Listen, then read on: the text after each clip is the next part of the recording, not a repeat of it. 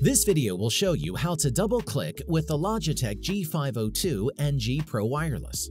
You will need the Logitech G Hub software to double-click. A link will be provided below. Open the G Hub software. Select your mouse. Click the Assignments box on the left. Choose Macros. Create a new macro. Name it, then press Enter. Choose No Repeat press the plus icon. Choose to record keystrokes. Double-click with your mouse. Press the red box to finish your recording. Uncheck the option to use standard delays in the top right corner.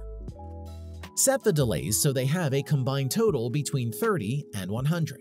I prefer to set my first and last delay lower than the middle.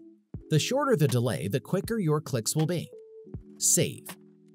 You should now see your macro in the left panel. Click and drag it onto the mouse button of choice. If you are remapping the left click, you will need to confirm your change. Now, every time you click your selected button, it will double-click. You can edit the macro at any point by clicking on it in the left panel.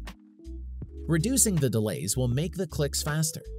Alternatively, you can add an extra click to increase click speed. Save your changes to automatically update your double-click macro.